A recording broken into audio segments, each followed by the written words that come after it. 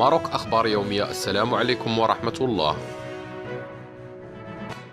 أقدم مسن في عقده السادس على الانتحار يوم الاثنين من خلال الإلقاء بنفسه من سطح عمارة سكنية مكونة من خمسة طوابق توجد بحي بورغون بمدينة الدار البيضاء وأوضح مصدر مطلع لماروك أخبار يومية بأن الهالك والذي يقطن بالعمارة السكنية رفقة أسرته ألقى بنفسه من أعلى السطح ما تسبب في وفاته على الفور مشيرا إلى أن الأسباب وراء قرار هذا المسن إنهاء حياته تبقى مجهولة وأشار المصدر ذاته إلى أن المصالح الأمنية حلت بمكان الواقع في إطار التحقيق الذي تم فتحه.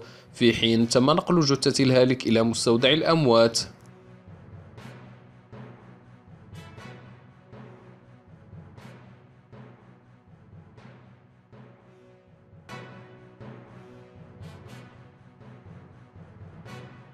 نشكركم على حسن المتابعة. قناة ماروك أخبار يومية.